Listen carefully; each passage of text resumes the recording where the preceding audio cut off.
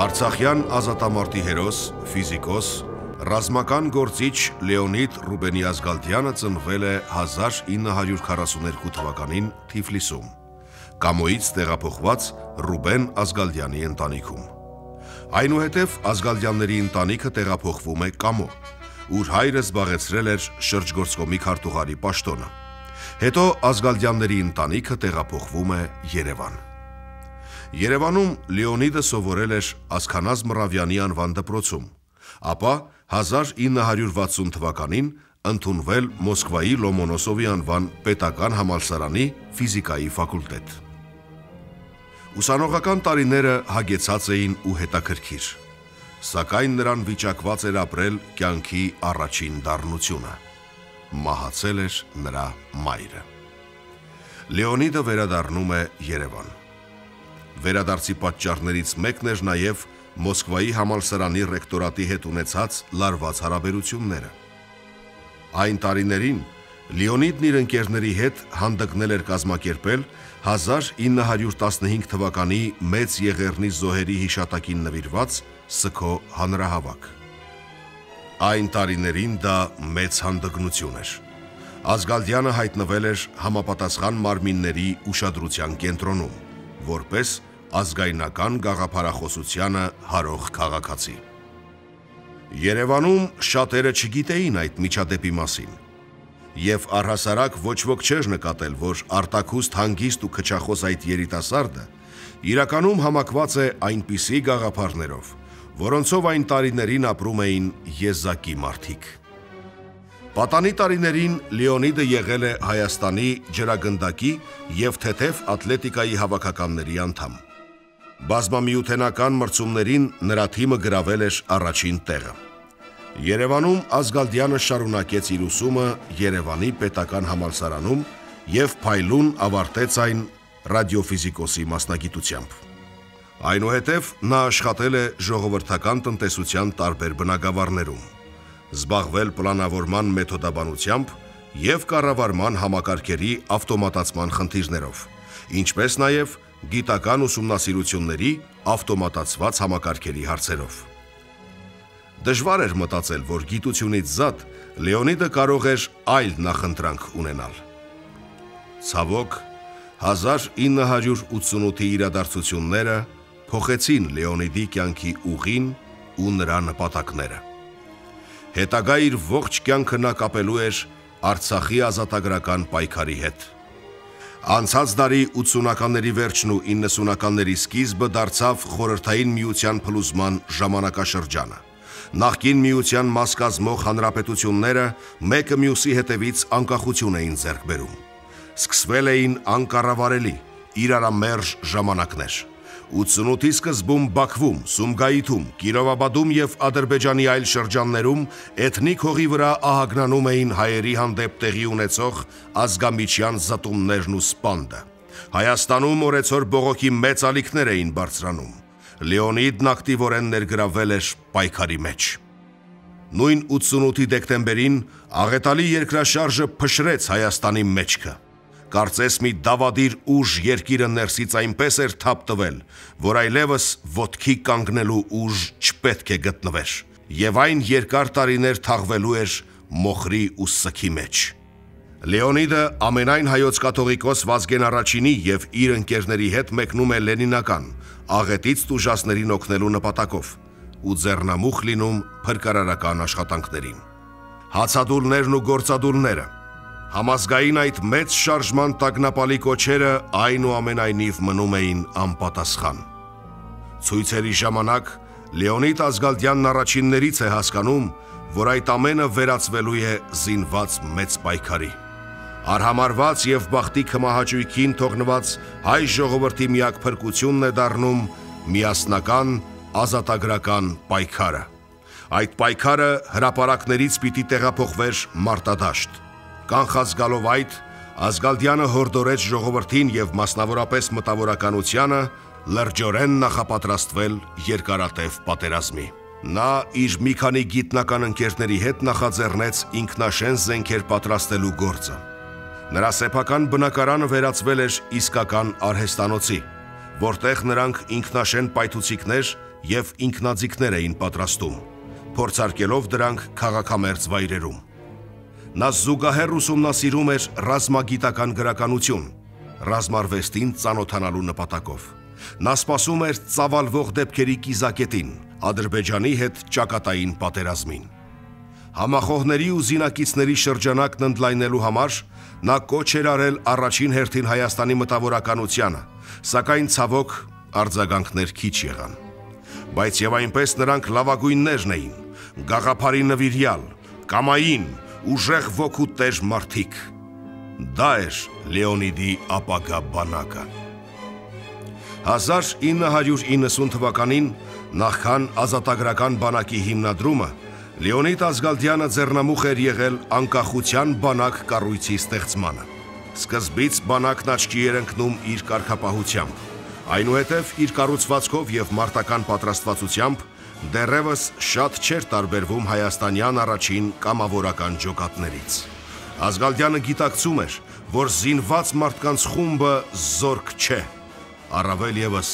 բանակ։ Առաջին մարտերում անկախության բանակը հաջողություններ գրանցեց։ Լեոնիդի տղաները մասնակցեցին Վարդենիսի պաշտպանական մարտերին։ Այնուհետև մարտի 27-ին Երևանի կայարանամերձ հատվածում եւ այժմյան Նուբարաշենի արյունալի սադրանքից հետո խոչընդոտեցին խորհրդային պատժիչ զորքերի Երևան ներթափանցելուն։ Բայց Լեոնիդը հասկանում էր, որ այդ փոքրիկ փորձը դեռևս շատ քիչ էր այն պայմանների համար, որոնք սպասվում էին արջևում։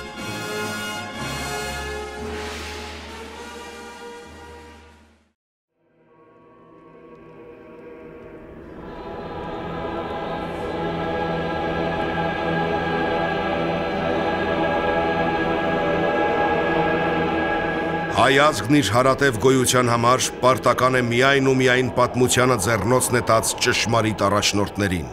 Հիրավի նրանց առաքելությունը նման է խենթության, քանզի հուսաբեկության եւ համատարած սարսափի պահերին նրանք հանդգնում են հավատալ հաղթանակին։ Նրանք պարտադրում են այդ հավատը յուրայիններին,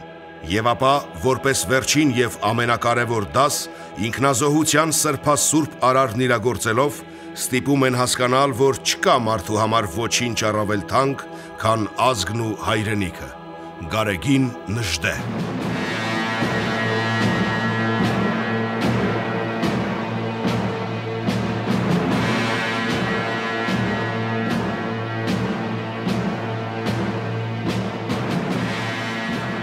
Իր եւ իր զինակիցների մարտական հաջողություններից չգոհանալով Լեոնիդն այնուամենայնիվ հասկանում էր, որ անջատ-անջատ ջոկատներով անհնար է հասնել լիակատար հաղթանակի։ Անհրաժեշտ էր ունենալ մի ընդհանուր զինվորական կառույց։ 1990-ից 1991 թվականներին Արցախյան ճակատի հրամանատար Վլադիմիր Բալայանը, որի նմանները ինչպես հաճախ էր շեշտում Լեոնիդը, հազիվ թե դարը մեկ ծնվեն, իր փոքր խմբով եկավ գտնելու գլխավոր հրամանատարին ու դարձավ նրա ծրագրերի ու գործողությունների համախոհը։ Լեոնիդը եւ Վլադիմիրը հիմնեցին ազատագրական բանակ կոչվող զորամիավորումը, որի նմանը չի եղել բոլոր ժամանակների հայկական զորամիավորումների պատմության մեջ։ Ազատագրական բանակը նոր թափ հաղորդեց Արցախի պատերազմին։ Լեոնիդի եւ Վլադիմիրի միասնական պայքարը վերածվեց ազնիվ ընկերության ընթացքում վերաճելով եղբայրության։ Նա որպես Արցախյան ազատագրական պայքարի առաջին սերնդի հրամանատարներից մեկը մասնակցել է Գետաշենի ենթաշրջանի, Շահումյանի եւ Մարտակերտի շրջանների ինքնապաշտպանական ազատագրական մարտերին։ Մեր բանակի սկզբունքում ընկած է ազգային վերականգնման, ազգային անկախության, ազգային իղձերի կատարման գործողությունները մենք պատրաստ ենք ամեն տեսակի գործողությունների, ամեն տեսակի բոլոր տիրույթներում, բոլոր հայաբնակ եւ ոչ հայաբնակ հայի հողերում։ Այստեղ հաստորեն ֆորտ պոստն է մեր ազգի։ Գետաշեն, Շահումյան, Արցախ հնացած վայրերը ինքը Զանգեզուրը դրանք գտնվում են անմիջապես ոչնչացման վտանգի տակ եւ դա դատարկ խոսքեր չեն, դա իրոք այդպես է։ Ցանկացած պահին մի փոքր կազմակերպված ուժ կարող է կդրել հակատարել հարցակում եւ կրկնել 18 թիվը հեշտությամբ կատարել Այս ընթացքում կատարվեց սելեկցիա,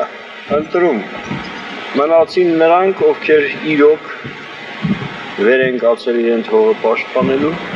իրոք հասկանում են, որ չի կարելի հանձնել ոչ մի կտոր հող,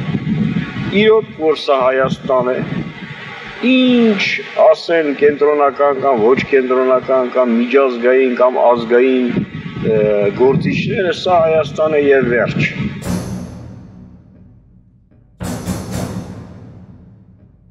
Լեոնիդը եղել է հարյուրավոր ազատամարտիկների ռազմագիտության ուսուցիչն ու ազգային քաղաքական դաստիարակը մեծ ռազմավար։ Ազգալդյանի հրամանատարության 4 տարիների ընթացքում նրա գլխավորած ջոկատը ազատագրել է 27 բնակավայր։ Այդ 4 տարիների ընթացքում նրա բանակն ունեցել էր ընդամենը 6 զոհ։ Դա արդյունքն էր Ազգալդյանի հրամանատարական որակների, մարտիկների հետ անցկացվող անդուլ զինավարժությունների ու նրանց ֆիզիկական բարձր պատրաստության։ Ազատագրական բանակին զինվորագրվել ցանկացողներից նրանց, ովքեր շտապում էին խոստովանել հրամանատարին իրենց նվիրվածության մասին հայտարարելով «Պատրաստ ենք մեռնել Արցախի համար», Լեոնիդ Ազգալդյանը չէր վերցնում, բացատրելով «Մեզ պետք են Արցախի համար ապրողներ»։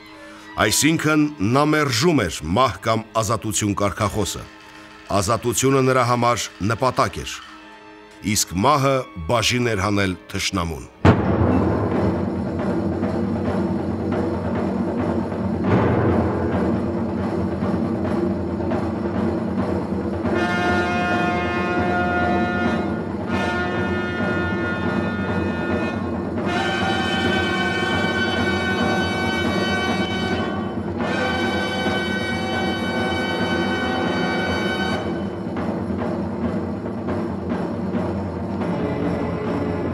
Այս երկրում, մերօրյա Հայաստանում, ավելի թանկ արժեք ունեցող երևույթ չկա,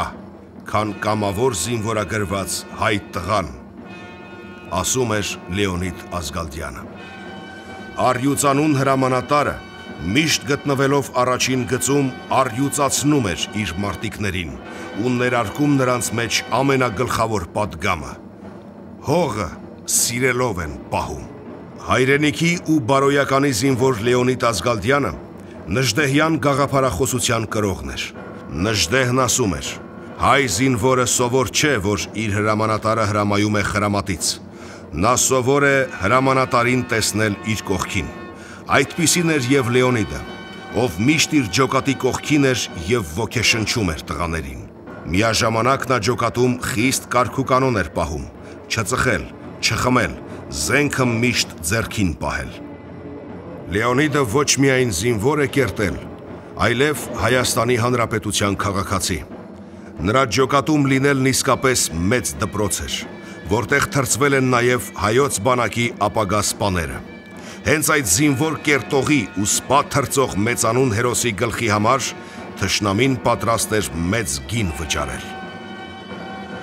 Մի անգամ Արցախում նրան հանդիպած արտասահմանցի լրագրողի այն հարցին, թե նա ինչ գույնի է, այսինքն ինչ կուսակցության է հարում,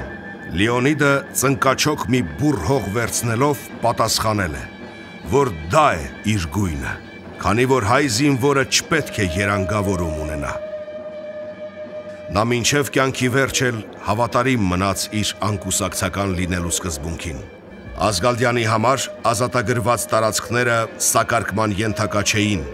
Ես ուզում եմ ընդգծեմ, այն ազգը, որը կկորցնի Ղարաբաղը, կտապալվի լրիվ։ Թուրքը կկորցնի, ուրեմն իրենք, հայը, ուրեմն այը։ Համաստեղ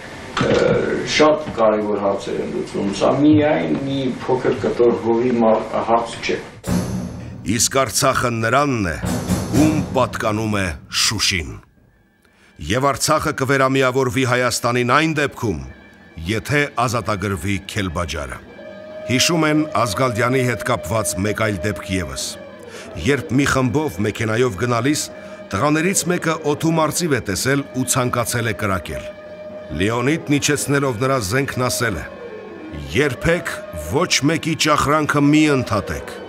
Առավել եւս, որ այդ թրջունը նաև Հայաստանի զինանշանի վրա է։ 1992 թվականի հունիսի 9-ին Չայլուի պաշտպանության մարտերում զոհվում է Արցախ ճակատի հրամանատար Վլադիմիր Բալայանը։ Վլադիմիրի կորուստը մեծ հարված էր Լեոնիդի համար։ Գլուխն իջեցրած ընկերոջ գերեզմանաթմբին նա երկու ժամ լուր մնաց եւ արտաբերեց ներքին կանխազգացումի խոսքերը։ Կհանդիպենք երկնքում։ Նույն 1992 թվականի հունիսի 21-ի երեկոյան Արցախի ազատամարտը զրկվեց իր մեծագույն զինվորից։ Վլադիմիրի մահից 12 օր անց Տոնաշեն գյուղի մերձակայքում զոհվեց Լեոնիդ Ռուբենի Ազգալդյանը։ Բայց նա չի զոհվել։ Նա ապրում է։ Կա ապրում է, քանի մեր հայրենիքի սահմաններում վստահ կանգնած են իր երազած բանակի զինվորները, քանի կամ մարտունակ եւ ամենածանր փորձություններին դիմագրավելու պատրաստ հայոց բանակը։ Հենց սա է Լեոնիդի թողած կենթանի հուշարձանը։ Արցախյան ազատամարտի հերոսը ապարգևատրվել է Հայաստանի Հանրապետության եւ Լեռնային Ղարաբաղի Հանրապետության մարտական խաչ առաջին աստիճանի շքանշանի ասպետի կոչումով։